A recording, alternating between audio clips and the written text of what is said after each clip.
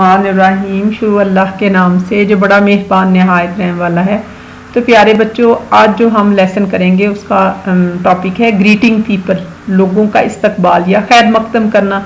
آپ کو پتا ہے کہ ہم سارے عبداللہ ہیں، اللہ کے بندے ہیں اور اللہ تعالیٰ نے، اور ہم اللہ کے اوپر ایمان بھی لے کے آتے ہیں۔ تو اللہ نے ہمیں آرا نام مسلم رکھا ہے، مسلمان۔ اور اللہ تعالیٰ قرآن مجید میں کہتا ہے کہ اے نبی کریم صلی اللہ علیہ وسلم، جو لوگ ایمان لے آئے ہیں تو ان سے کہیے کہ وہ السلام علیکم۔ تو اللہ کے نبی نے ہمیں سکھایا کہ السلام علیکم کہو جب تم آپس میں ملتے ہو۔ اسی طرح جب فرشتے ہماری روح قبض کرنے آئیں گے تو وہ بھی السلام علیکم کہیں گے۔ اور جب جنت میں داخل کیا جائے گا تو فرشتے وہاں پہ بھی السلام علیکم سے ہمارا استقبال کریں گے۔ اور جب جنتی لوگ آپس میں ملیں گے تو وہ بھی السلام علیکم کہیں گے۔ تو ہمیں جب ایک دوسرے کو دنیا میں ملتے ہیں تو ہمیں سنت ہے کہ ہمیں السلام علیکم کہنا چاہیے اور ہاتھ آدمی، لڑکے اور لڑکی کو آپس میں ہاتھ نہیں ملانا چاہیے۔ اور اگر لڑکا اور لڑکی آپس میں بات رکھتے ہوں تو اپنی نظریں نیچی رکھنی چاہیے۔ اور حضرت علی نے فرمایا کہ پہلی نظر معاف ہے لیکن دوسری نہیں۔ اور اسی طرح سلام سام یہ سارے الفاظ نہیں کہنے چاہیے۔ اور بہتر ہے کہ السلام علیکم ہی کہا جائے، لیکن اگر کوئی خالی سلام کہتا ہے تو اس کا جواب بہتر طریقے سے دیا جائے۔ وعلیکم السلام، تو السلام علیکم کا جواب ہے۔ وعلیکم السلام ورحمۃ اللہ وبرکاتہ۔ زیادہ بہتر ہے کہ آپ السلام علیکم ورحمۃ اللہ وبرکاتہ کہیں۔ اللہ تمہیں سلامتی، رحمت اور برکت عطا فرمائے۔ اور جواب میں، وعلیکم السلام ورحمۃ اللہ وبرکاتہ۔ اللہ تمہیں بھی سلامتی رحمت اور برکت عطا کرے۔ اللہ تعالیٰ نے قرآن مجید میں فرمایا ہے اور جب کوئی احترام کے ساتھ تمہیں سلام کرے تو اس کا اس سے بہتر طریقے کے سواب، ساتھ جواب دو یا کم از کم اسی طرح اللہ ہر چیز کا حساب لینے والا ہے۔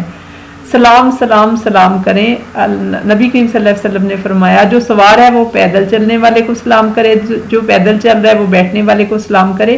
کم لوگ زیادہ لوگوں کو سلام کریں اور مجلس چھوڑتے ہوئے بھی سلام کریں۔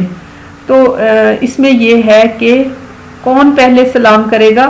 جو اللہ سے قریب ہے، وہ سلام میں پہل کرتا ہے۔ ظاہر ہے، جس نے اللہ کی خاطر نیکیاں زیادہ کمانی ہے نبی کریم صلی اللہ علیہ وسلم کی سنت میں پہ عمل کرنا ہے، وہ اسلام میں پہلے کرے گا۔ تو نبی کریم صلی اللہ علیہ وسلم نے کہا کہ سلام پھیلاؤ۔ ہر ایک کو سلام کرو، چھوٹے، بڑے کو، بچوں کو، ہر ایک کو۔ اور پھر یہ بھی مسنون ہے کہ دو لوگ آپس میں مسافہ کریں، ہاتھ میں لائیں منہ سے سلام کرنے کے ساتھ مسافہ کرنے سے گناہ جھڑتے ہیں اور آپس میں محبت بڑھتی ہے۔ یہ حدیث کے مفہوم ہے۔ پھر اس کے بعد یہ ہے کہ جب آپ کسی محفل میں جائیں تو اللہ کا ذکر ضرور کریں۔ اور پھر یہ بھی کہا گیا قرآن مجید میں کہ اے لوگوں جب گھروں میں داخل ہو تو گھر والوں کے اوپر بھی سلام بھیجو۔ گھر اکیلا بھی ہو نا تو گھر میں داخل ہوتے ہوئے السلام علیکم ورحمۃ اللہ وبرکاتہ اونچی آواز میں کہنا چاہیے کیونکہ فرشتے ہوتے ہیں اور پھر یہ بھی ہے کہ ایک اطلاع ملتی ہے کہ آپ گھر میں اندر آ رہے ہیں اور نبی کریم صلی اللہ علیہ وسلم نے کہا کہ تین دفعہ دروازے کو دستک دو، اگر جواب نہ آئے تو بغیر دل میں تنگی لیے واپس آ جاؤ۔ یہی علماء کہتے ہیں کہ یہ اصول ٹیلی فون موبائل کال پہ ہونا چاہیے۔ اگر تین کال کرنے کے بعد کوئی آپ کا جواب نہیں دیتا تو آپ بند کر دیں۔ اب ہم آتے ہیں کہ ہم ہاؤ آر یو، آپ کا کیا حال ہے؟ عام طور پہ ہم اس کا جواب دیتے ہیں، I am fine, thank you. میں ٹھیک ہوں، شکریہ۔ لیکن اس کا مسنون جواب دینا چاہیے، آئی ایم فائن الحمد للہ کہ اللہ کا شکر ہے۔ اللہ تعالیٰ کا شکر کیوں ادا کرنا چاہیے؟ ہر چیز کے لیے جو اللہ نے مجھے عطا کی، اچھی یا بری، کچھ رحمتیں تھیں اور کچھ سبق تھے۔ جو مشکلیں آتی ہیں، وہ سبق سکھانے کے لیے آتی ہیں اور ہمیں مصنون الفاظ استعمال کرنا چاہیے۔ ہیلو نہ کہیں، السلام علیکم۔ انشاءاللہ سبحان اللہ الحمد اور جزاک اللہ خیر کہ اللہ تعالیٰ ہی بہتر جزا دینے والا ہے۔ تو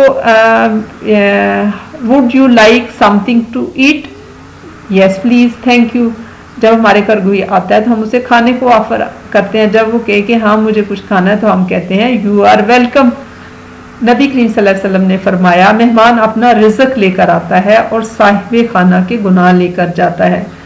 اور رسول اللہ صلی اللہ علیہ وسلم نے فرمایا کہ جو اللہ اور آخرت کے دن پر یقین رکھتا ہے، اسے چاہیے کہ اپنے مہمان کی عزت کرے۔ تو آپ کی سوچ کیا اللہ کو آپ کی ضرورت ہے؟ نہیں، پیارے بچوں، ہمیں اللہ کی ضرورت ہے، وہ رب کائنات ہے۔ تو اپنی زندگی سے یہ چیز نکال دیں کہ لوگ کیا سوچتے ہیں۔ یہ دیکھیں، میرا اللہ کیا چاہتا ہے؟ اللہ سے محبت کریں، کیونکہ زندگی کے آخر میں حساب تو اللہ نے ہی لینا ہے۔ تو اپنی سوچ کو تبدیل کریں تو آپ کی دنیا تبدیل ہو جائے گی۔ اپنے مسلمان ہونے پہ فخر محسوس کریں۔ اور وہ کام جو رب کائنات، آپ سوچیں کہ دنیا کا ایک بادشاہ ہے اب اس کی تعظیم کرتے ہیں۔ تو جو ساری کائناتوں کا، سات آسمینوں کا، سات آسمانوں کا مالک اور بادشاہ جو ہمارا خالق ہے، تو ہم اس کے ساتھ اپنا تعلق جوڑنا چاہیے۔ اگر ہم دل سے اللہ کے ساتھ تعلق جوڑیں گے، تو ہم کسی بھی سنت پہ عمل کرتے ہوئے ہچکچائیں گے نہیں۔